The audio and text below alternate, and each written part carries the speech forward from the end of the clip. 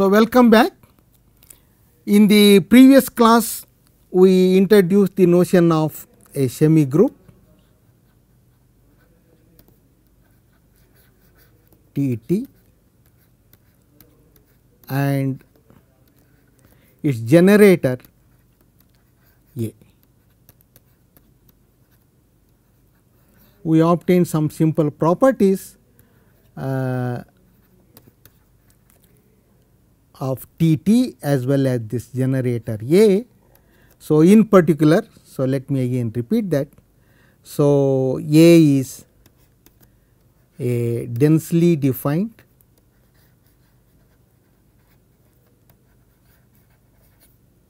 closed operator.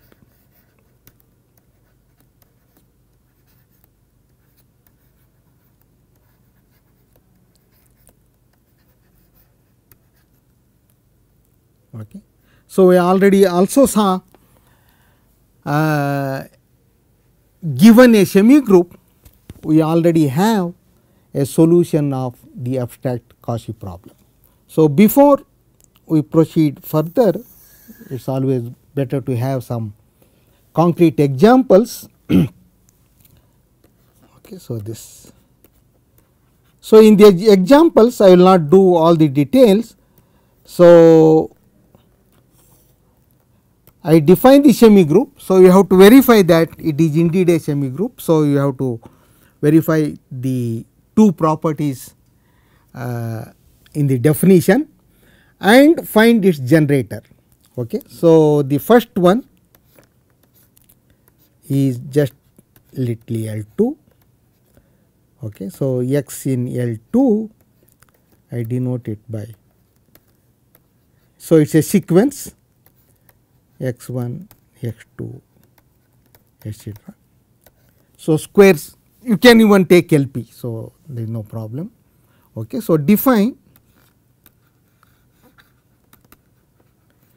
T of T this is from L 2 to L 2. So, we have to define by T of T x again this is going to be a sequence. So, I have to tell what is its nth coordinate. So, this is by definition T n square e to the minus T n square x n. So, n equal to 1, 2 etc. Okay. So, verify that T T is indeed a semi group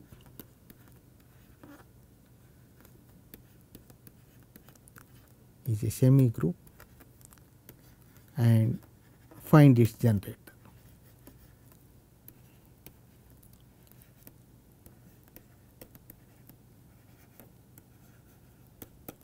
Okay. So, we also see uh, E this a group. Okay. So, that also you so whenever a semi group is given you should also verify whether it is in a semi group or a group E this a group. Okay. So, that okay. So, this is a simple one. Okay. The next one is the function space. So, here x is either u c b I will define what this is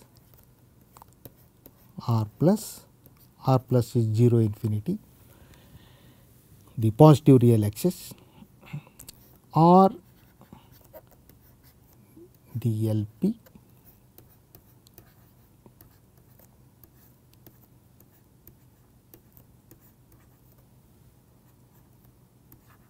Okay. So, this one let me define this. So, this is set of all uh, f from r plus that is 0 infinity either r or c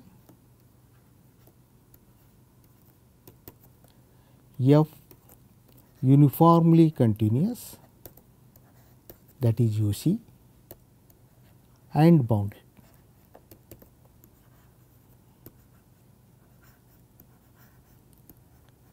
And this is equipped with sup norm. Okay. So, you can verify that is a Banach space. Okay. X is this UCB is also Banach space and these are usual uh, the Lebesgue class. Okay. And on this uh, space X, so now we are going to define semi group of left translations.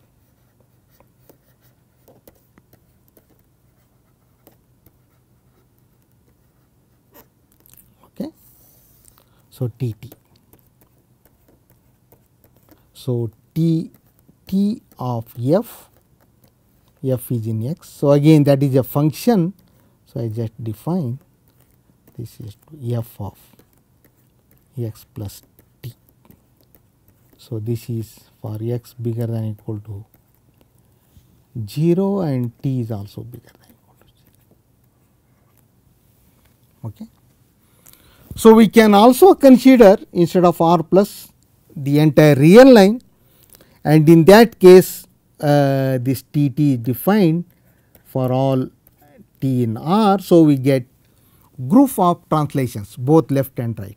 Okay. So, as you take t positive or t negative. Okay. So, let me just concentrate on this thing. Okay. So, verify this T t is a semi group.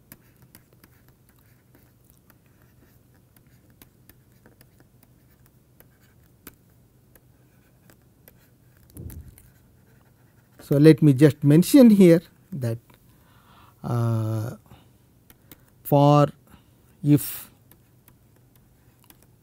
x equal to u c b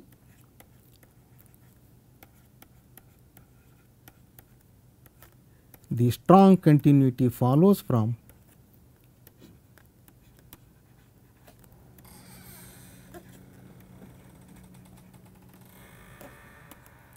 follows from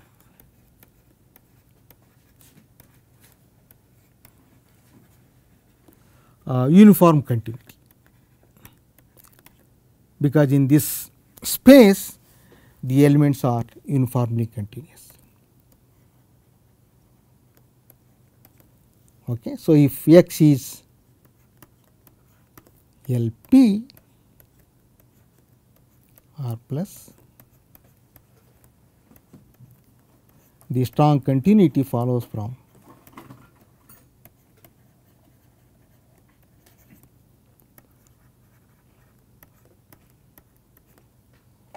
follows from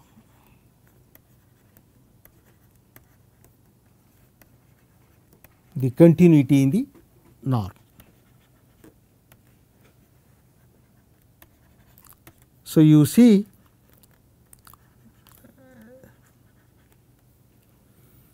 So, you are going to use all the tools developed in analysis uh, in the first part of this course, okay. but work out the details, okay. write down the definition of the strong continuity and see that the properties of the functions in this respective spaces are used very much. Okay. And as far as the generator is concerned, Okay. So, let briefly and this is how uh, you guess the form of the generator in general and try then try to prove it rigorously. Okay. So, if f belongs to x either UCB or LP. So, for the generator we want this limit now they are functions. So, I have to as t uh, this limit as t tends to 0 should exist then that particular f belongs to the generator. Okay. But now, so this should converge in the respective norm of this x. So, either uh, in the sup norm or in the LP norm. Okay. So, but that already gives us a clue that uh, for f to be in dA this f prime. Okay let me just write here. Should exist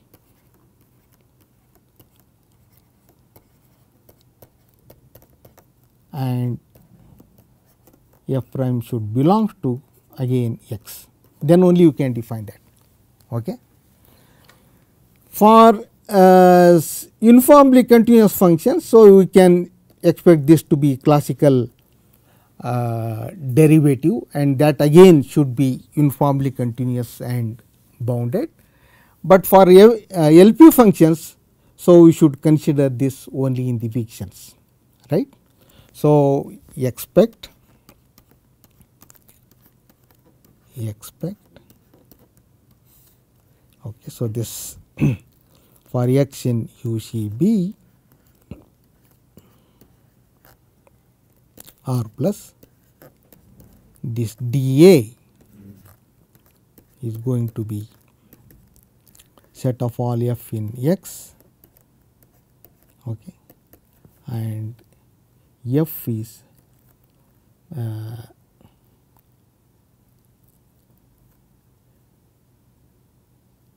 okay differentiable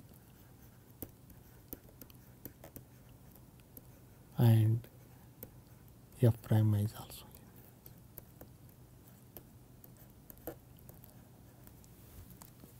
okay so this for x in lp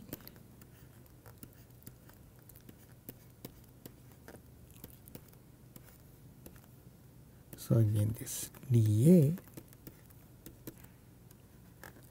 f in x.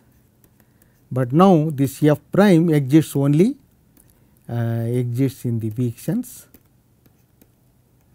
in the fictions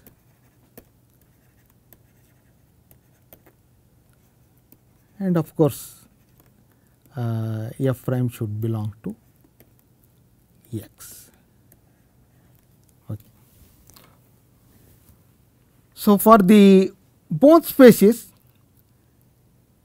we can write this uh, in a unified way. So, define D so either x is UCB r plus or LPR plus. So, f is in x, f is AC loc, I will again define what this is and f prime x. Okay, so this is the space of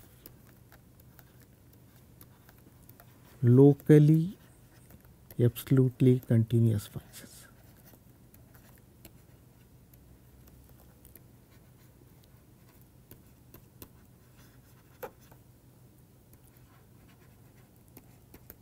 So, that means this f is absolutely continuous on every finite interval of r plus. And then by a theorem of Lebesgue, it follows that f prime exists almost everywhere and we require that f prime is also uh, in x either UCB or in LP. So, let me make a comment here. So, uh, we have defined the Sobolev spaces just side remark. Okay.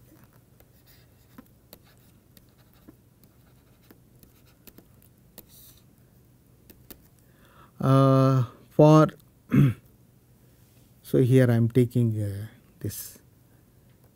So, we have defined this W 1 P omega in general, but so, you have this is f in LP in R plus such that the weak derivative or the in the sense of dist, uh, distributions weak derivative f prime is also in LP. For this special case of uh, the real line, okay, so this will not work in higher dimensions. This is same as f is in LP r plus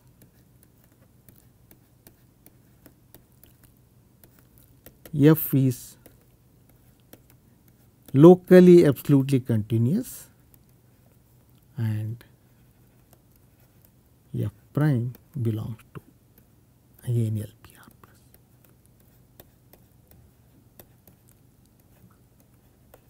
Okay, so verify this. Okay, so this you might not have done it. So this uh, this space D we have defined for at least the class of LP, it coincides with W1P. Okay. And now you verify that.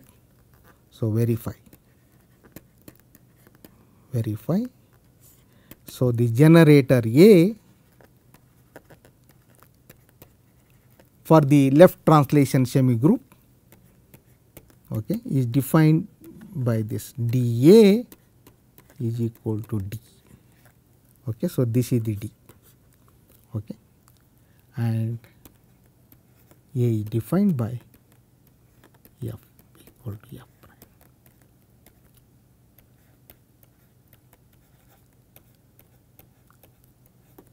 Okay. So, this is uh, so we have that semi group of left translations and its generation generator is given by the derivative. So, one more example. So, let me this. So, this is bit hard. So, this is Poisson kernel. So, in a way it is a cousin of the heat kernel. Okay. So, again this is in R. Okay. So, we are uh, so P for Poisson. So, you consider this. Uh, let me just okay, write it 1 by pi uh, t by uh, t square plus x square. So, t is positive and x is in R.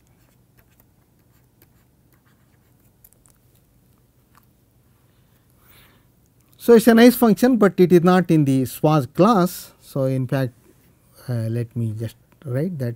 So, P t. Uh, so, since we are working in L 2 here, so its Fourier transform that you need is given by let me just uh, e to the minus t mod chi. So t again t positive. Okay, just verify that. So, what is the semi group? So, define T t from L 2 R into L 2. So, for the very this is a hard problem, okay, but very interesting one and you learn lots of analysis. So, you can make full use of Fourier transform techniques by uh, T t. So, I take an f here. So, this is convolution of P t with f. So, let me write that at least once 1 by pi or t by so t also we can take out. So, this is integral over r uh, f of y divided by t square plus x minus y square Okay. So, this is for t positive okay, and you define this t 0 of f equal to f. Okay. So, this f is in L 2.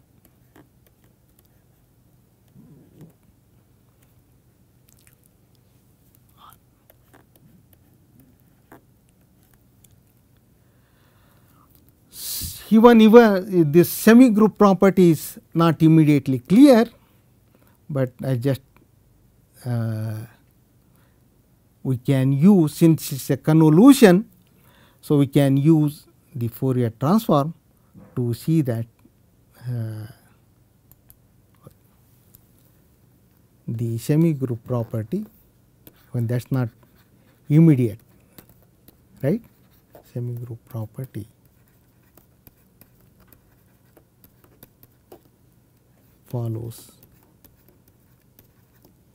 by taking Fourier transform.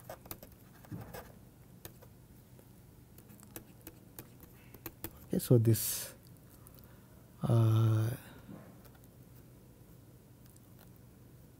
T of T1, T of T2 F.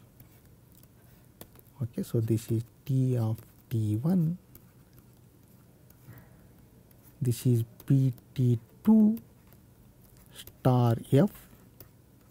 And then we have this PT1 uh, star PT2 star F. And you use associativity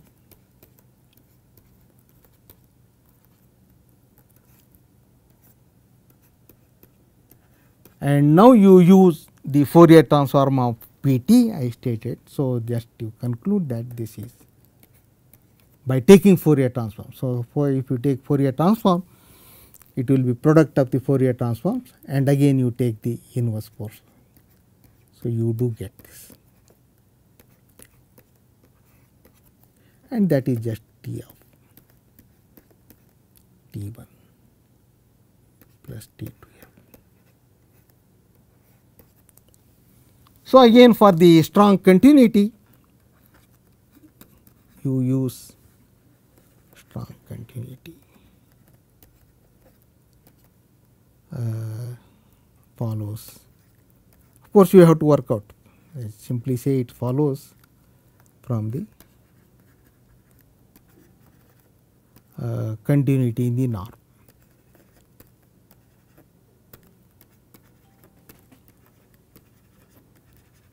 Okay. Now, a brief discussion in the remaining time, a brief discussion about the generator. Okay.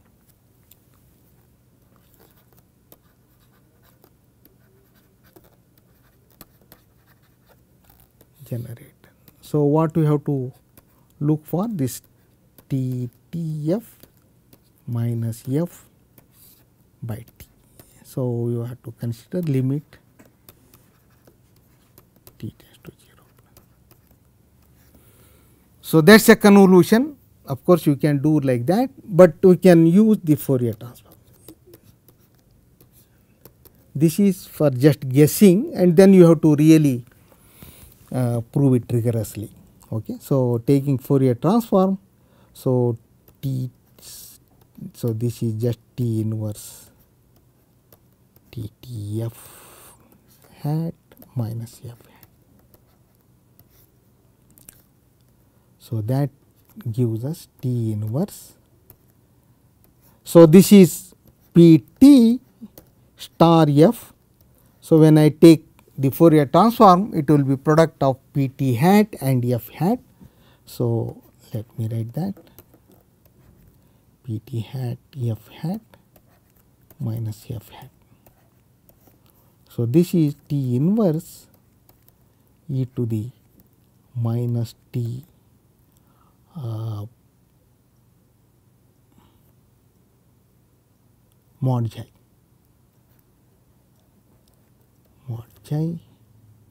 this is minus 1 f. Hat okay. So pt hat is e to the minus t.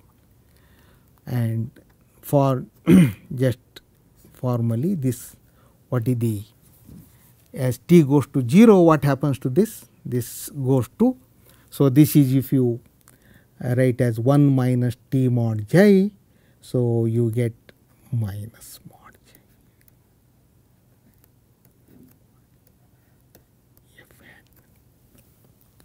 okay?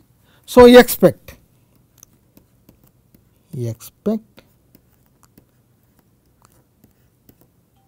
So let me again write j so dA so now everything in terms of the Fourier transform okay so this f in L to Rn L to R not Rn that either minus or plus is that okay, just mod f hat is also in L2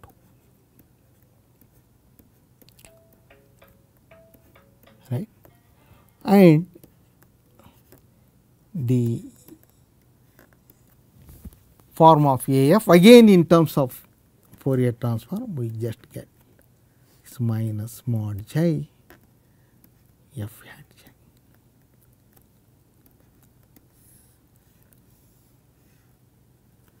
And what is this operator? What is this operator?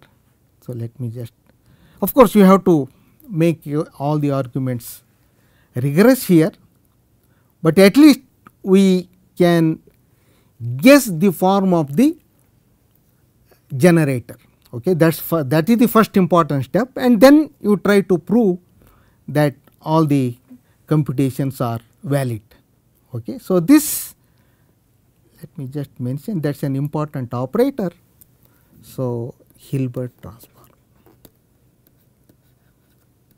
So, you see uh, lots of analysis coming to play. So, this I am not going to again uh, define it in. So, it is in fact it is a singular uh, integral operator. So, again let me define in terms of defined in using Fourier transform. Okay. So, you can dig the literature if you are interested in uh, very nice properties of Hilbert transform that is in one dimension. Higher dimensions this theory is developed by Riesz and they are called Riesz transformations. Okay. So, this is HF H for Hilbert. So, again defined by so let me write that h of j minus i sign of j f hat j.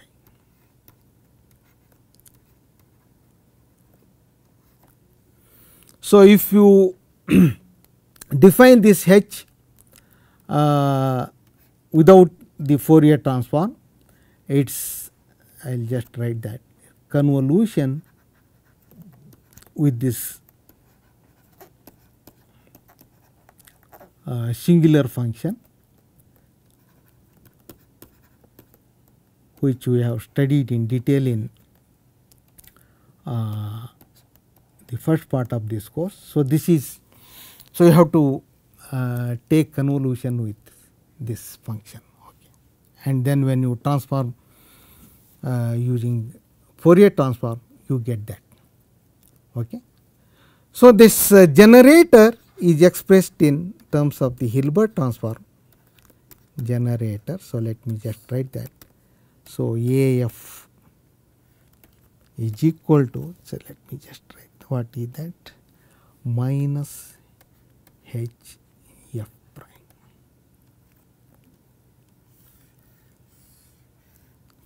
So, you can so if you write this abstract Cauchy problem with this generator A, so du by dt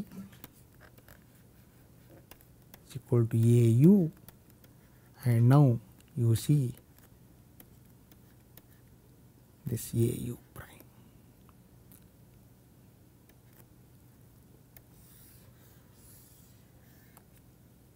So, it is in some sense second order, but in a singular way. So, it is not uh, as nice as the Laplacian. So, the semi group theory uh, can also handle singular equations. So, that is an important observation through this example. So, if you are interested you can uh, look into the literature uh, regarding this Hilbert transform and other properties. Okay. So, work out all these uh, four examples uh, in order to get familiarized with the this new concepts uh, semi group and its generator. And in the next class we will continue this discussion and with some more properties of the generator and then we will go to Hille-Yosida theorem. Thank you.